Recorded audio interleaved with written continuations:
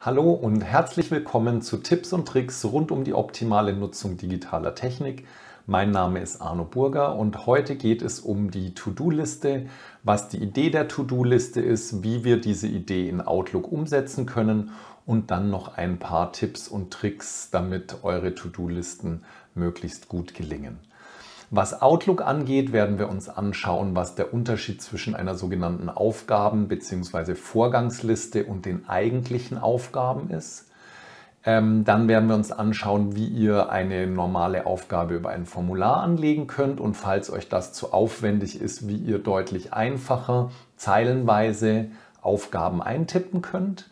Wir wollen uns anschauen, wie ihr die Aufgaben parallel auch im Kalender sehen könnt und wie ein sinnvoller Umgang mit erledigten Aufgaben ist. Jetzt zunächst mal zur Grundidee von To-Do-Listen.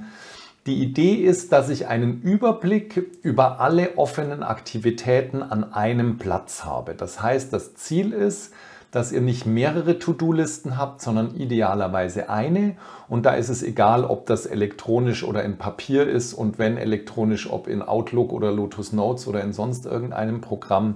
Aber idealerweise habt ihr nur eine To-Do-Liste, weil dann der Überblick am besten ist. Das zweite ist, dass wir durch die To-Do-Liste zwischen Terminen und Aktivitäten trennen. Das heißt, Termine kommen in den Kalender, Aktivitäten kommen in die To-Do-Liste. Und das dritte ist, dass die To-Do-Liste meine Entscheidungsgrundlage ist für die Frage, was mache ich wann.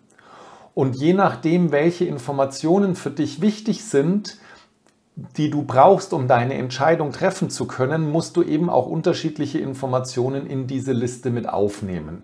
Ich zeige euch einfach mal, wie ihr die Aufgabe beschreiben könnt und wie ihr zum Beispiel ein Fälligkeitsdatum eingeben könnt. Schaut doch mal, welche anderen Fragen eure Entscheidung beeinflussen und dann können wir gerne in einem weiteren Video mal gucken, wie wir diese Informationen strukturiert oder auch unstrukturiert noch in die Aufgaben aufnehmen können. Ja, wie kann ich das in Outlook umsetzen? Wenn ich in Outlook bin, finde ich die Aufgaben hier unten. Es ist dieses Blatt mit dem Häkchen drin. Manchmal verbirgt es sich auch hier hinter den drei Punkten.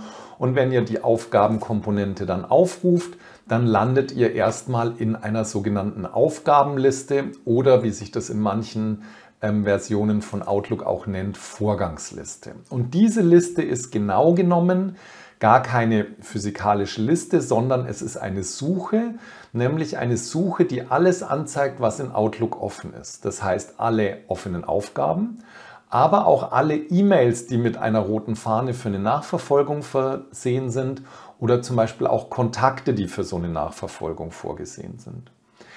Die eigentlichen Aufgaben, die findet ihr hier in dem Ordner Aufgaben. Und da möchte ich euch zeigen, wie ihr hier Aufgaben eingeben könnt. Wenn ihr schon mit Kalender und E-Mail arbeitet, kennt ihr natürlich dieses Neu, neue Aufgabe in diesem Fall. Und hier gebe ich jetzt erstmal einen Betreff ein, zum Beispiel Video drehen. Und dann kann ich entscheiden, bis wann soll das fertig sein. Sagen wir mal, das soll morgen fertig sein. Und dann kann ich mir noch eine Info mit dazu schreiben.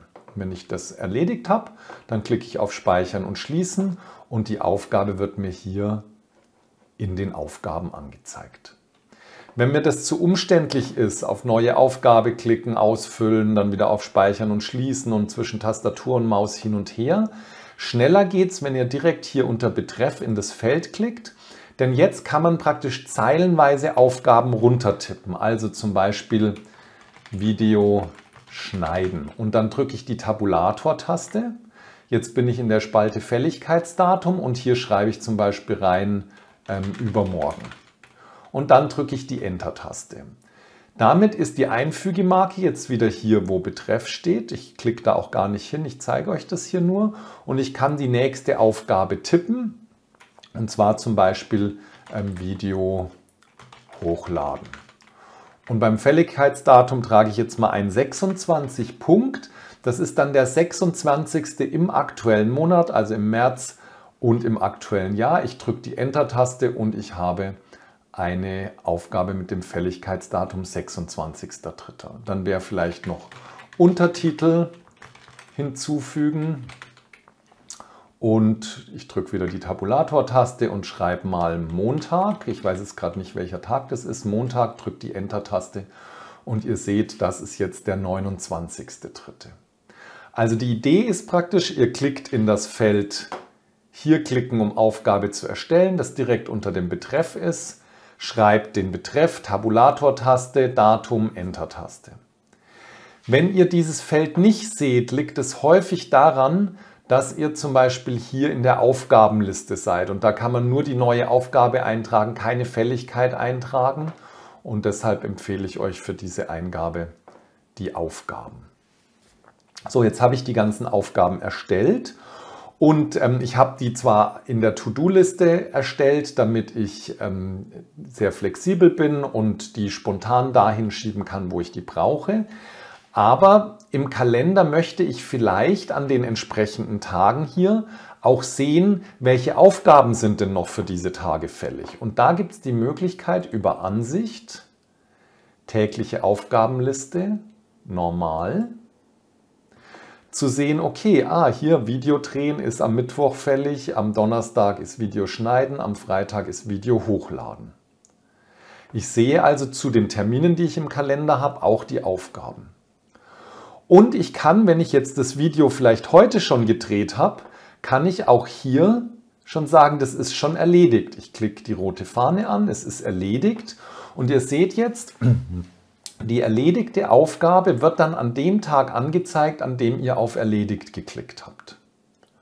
Ich wechsle wieder in meine Aufgaben zurück. Ihr seht, auch hier ist die Aufgabe erledigt und durchgestrichen. Ich mache das jetzt mal noch mit Video schneiden. Seht ihr, wird hier auch durchgestrichen.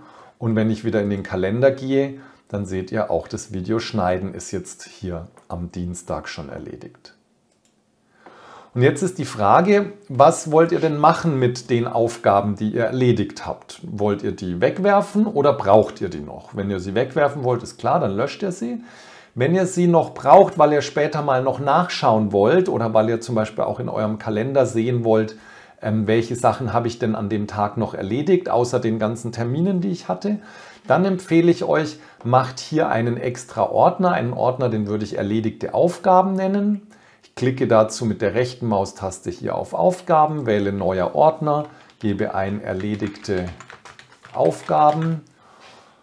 Es wird dann ein Aufgabenordner, er wird in dem Ordner Aufgaben als Unterordner angelegt. Ich bestätige mit OK und habe dann hier diesen leeren Aufgabenordner, in den ich jetzt meine erledigten Aufgaben hineinschieben kann. Und ich würde das zum Beispiel so machen.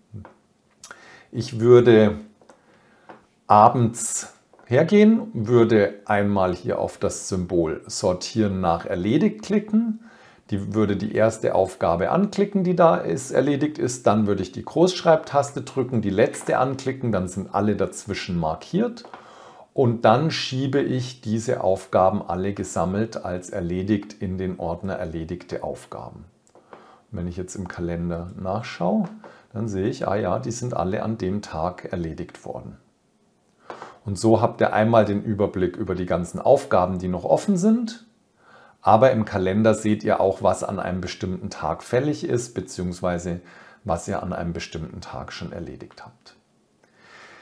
Das war es erstmal mit der Einbindung von Outlook in so eine To-Do-Liste. Da gibt es natürlich noch viele andere Möglichkeiten. Ich würde euch empfehlen, erstmal so damit anzufangen und dann zu schauen, was ihr für Fragen dazu habt und schaut euch ruhig auch die nächsten Videos an. Da wird es auch immer mal wieder um Aufgaben gehen, aber schreibt auch gerne eure Fragen in die Kommentare. Ich beantworte die gerne. Dann würde ich euch jetzt gerne noch ein paar Tipps geben, ganz generell zum Umgang mit solchen Aufgaben, damit euch das auch gut gelingt.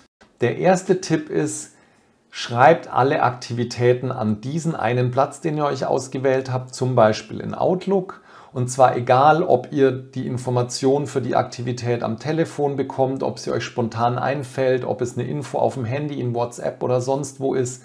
Sorgt dafür, dass ihr wirklich einen Platz für eure Aktivitäten habt. Das zweite ist, Schreibt in die To-Do-Liste wirklich nur Aktivitäten, also keine Dinge, die so groß sind, dass sie 30 Aktivitäten beinhalten, da weiß man nicht, wo man anfangen soll. Schreibt da die erste Aktivität auf, die ihr daraus machen wollt und schreibt auch keine Ideen in die To-Do-Liste. Ideen vermüllen praktisch die To-Do-Liste und wenn man dann durchgeht und was machen will, dann denkt man, ah, das nicht und jenes nicht und das nicht und dann kommt überhaupt kein Fluss in die Abarbeitung der To-Do-Liste. Dann wäre es gut, wenn ihr alles eintragt in eure To-Do-Liste, alle Aktivitäten eintragt und dann entscheidet, was ihr daraus in welcher Reihenfolge macht.